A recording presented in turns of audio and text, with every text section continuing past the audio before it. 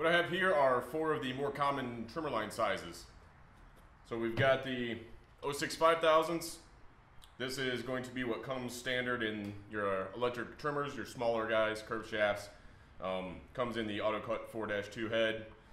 Um, this is what's recommended for those. This is the .080, 80 thousandths. This comes in your curved shaft units with the AutoCut 5-2 head, 80 thousandths line. Backwards. .095. This is your standard commercial string. 95 thousandths comes with all the straight shaft trimmers from Stihl. Uh, and the AutoCut 25-2 head. And the 105 thousandths. Uh, this guy's thicker, works fine in the machines.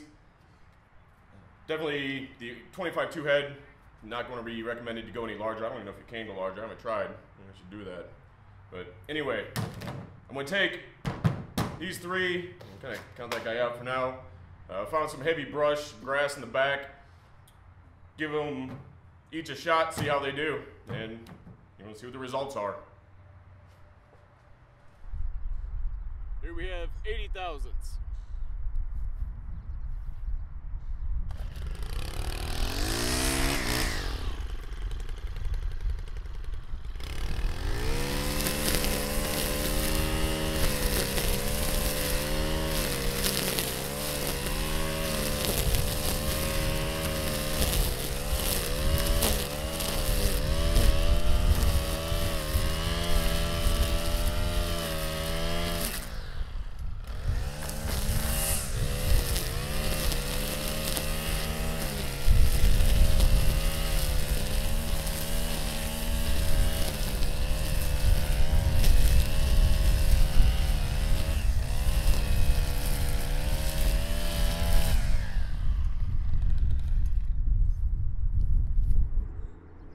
Well, let's try out the uh, 95 thousandths.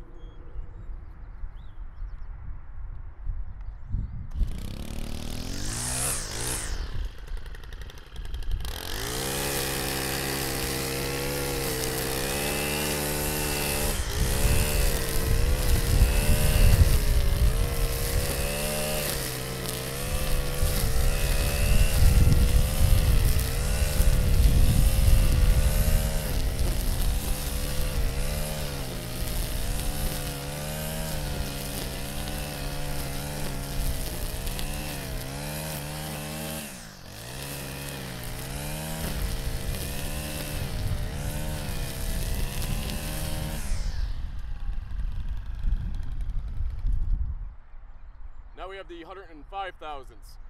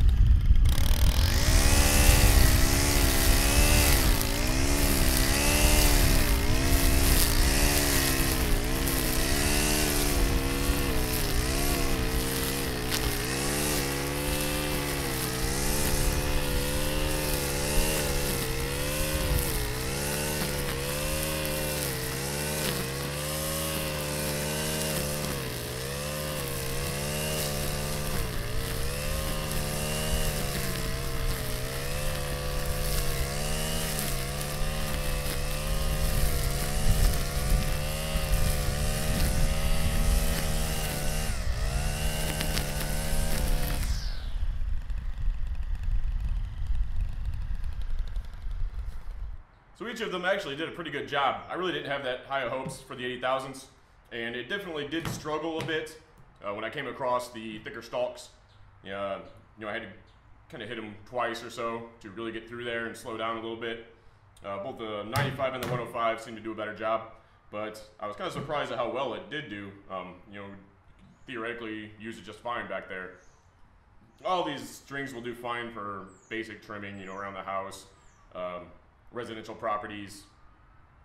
I got some guys I know prefer using the 80,000s in the commercial head. They can put more in there. But I also feel that it breaks easier. You're feeding more of it, so it kind of defeats the purpose because you're just going through more line. Um, myself, I usually use the 95. That seems to be you know my sweet spot. I find that I can cut faster. Uh, personal preference, really. You do whatever the fuck you want. You know, don't let anybody tell you you have to do things a certain way.